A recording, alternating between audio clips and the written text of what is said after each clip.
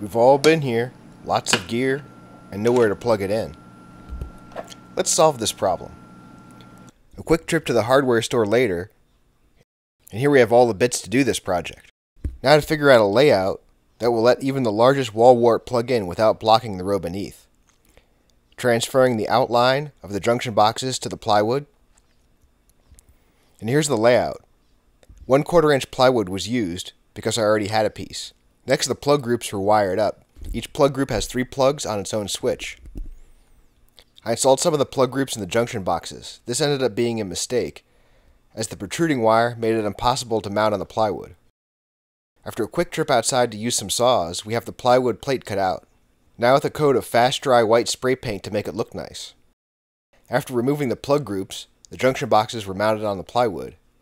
These are old work junction boxes and clamped to the back side of the plywood.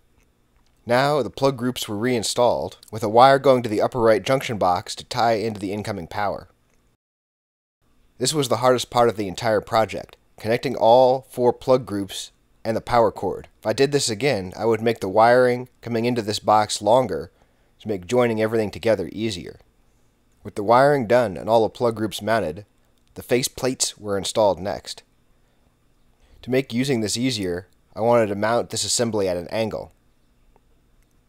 After another quick trip outside to use the saw, I had my parts, which were attached to the back of the plywood with glue and screws. Now this project is ready to use. Ah, much better. With room for even more gear. Estimated cost of around $100. Thanks for watching.